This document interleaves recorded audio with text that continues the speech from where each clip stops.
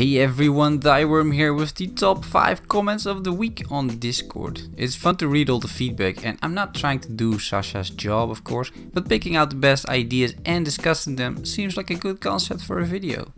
Also, I would really like to thank all of you for watching my Pagan Online videos and subscribing to the channel. It's really cool to see that the videos are doing so well and that you're enjoying them. So thank you. Let's move on to the top 5 comments I picked in no particular order. Number 5, Professor Dr. Meister says, can we please have a function to dismantle items for mats? Thanks. Professor Meister isn't the only one saying this. I've seen this comment an awful lot and you know what? You guys are right. Farming crafting materials is just not fun and this would really be a good alternative to getting more crafting materials. So great suggestion and an easy and clean solution too. Changing something like this is a significant alteration in design and I think it's not something that is easily implemented.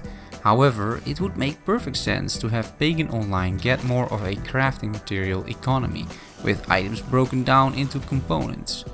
I think Path Exile has done a great job in that regard and hopefully the developers are considering also putting something similar in Pagan Online.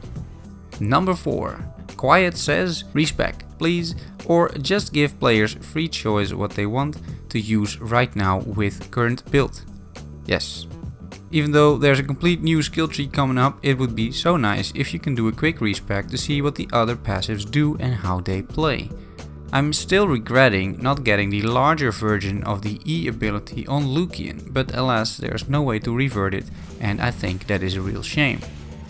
I would be fine with the respec costing some materials, I really don't mind, that is perfectly fair.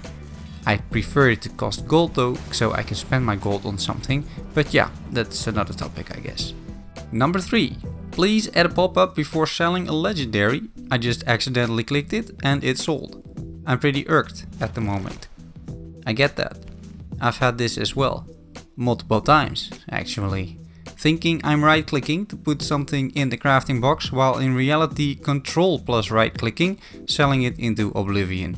There's also no buyback option as of now so this stuff really hurts. So yeah, pop-ups for things like these and I think for crafting recipes as well would be great. There's of course also a limit as to how many pop-ups and checks you want to do.